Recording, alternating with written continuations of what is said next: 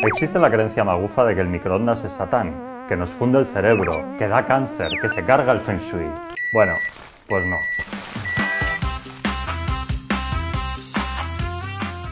Hemos consultado con cuatro expertos y, oh sorpresa, nos han explicado que este electrodoméstico vale para muchas más cosas que para calentar la leche.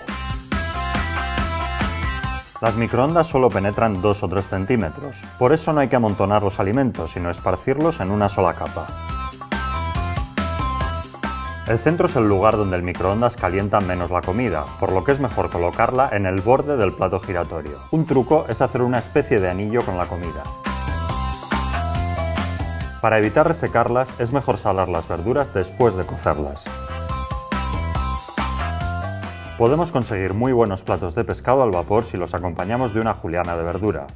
La cocinaremos a 600 vatios en papillot y durante un minuto por cada 80 gramos de pescado. Los escabeches también salen muy bien y manchas un poquito menos que en la cocina normal.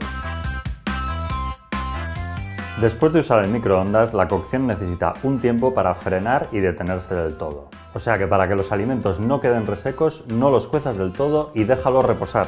El calor seguirá penetrando en ellos durante unos minutejos. La potencia alta solo se utiliza para calentar líquidos de manera rápida. Usa una potencia de media a 3 cuartos para elaboraciones y baja para descongelar. Huevos a no ser que los batas antes, y alimentos como las salchichas, las berenjenas o las manzanas, si no los perforas, pueden estallar. Calentando unos segundos unos limones o naranjas sacarán más zumo. Los ajos se pelan mejor si los calientas unos segundos y los dejas enfriar. Las galletas o patatas fritas blandurrias por la humedad volverán a crujir. Y puedes confitar unas patatas para hacer luego una tortilla en un plis y sin necesidad de mucho aceite.